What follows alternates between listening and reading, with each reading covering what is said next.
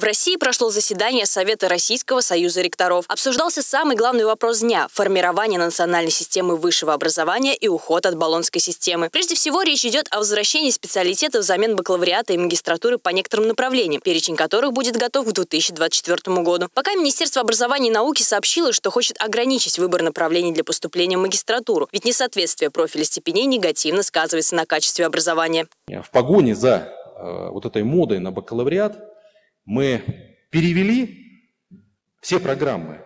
В результате попытки ряда вузов втиснуть четырехлетний бакалавриат содержание прежних пятилетних программ иногда привело к снижению качества образования, несистемным знаниям у студентов. И в итоге по ряду направлений часть вузов, если посмотреть, мы в итоге вернулись с вами, только в другой форме.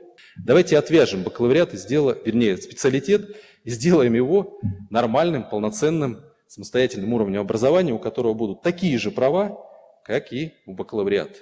И посмотрим, дадим возможность выбирать абитуриенту, работодателю, университету свободу дадим. И мне кажется, что это как раз расширение тех возможностей, о которых идет речь, потому что наша с вами задача создать такие возможности. Ключевой принцип баллонской системы – это мобильность студентов, возможность обмена, когда учащийся мог на полгода-год уехать в вуз в другой стране без каких-либо экзаменов. Это позволяло не только российским студентам учиться в европейских вузах, но и иностранным студентам учиться в России. 20-летний опыт реализации базовых принципов этой образовательной системы показал, что часть из них оказались недостаточно эффективными. Сейчас признание российских дипломов на Западе стало неактуальным, поэтому пришло время создавать свою систему. Задача российского государства, конечно же, сформировать свою собственную собственную систему образования.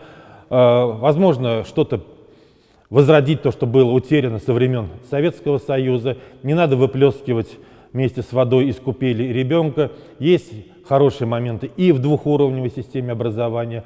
Существование двухуровневой системы и специалитета, как одна, моно, одноуровневая система, закреплено в Федеральном законе об образовании. Профильный комитет Думы по науке и высшему образованию вместе с правительством России уже начал работу над практическими шагами по выходу из Болонской системы. Следующим шагом может быть изменение или отмена ЕГЭ, а также повышение уровня системы образования в целом. Алина Красильникова, Тимур Табаров, Универньюз.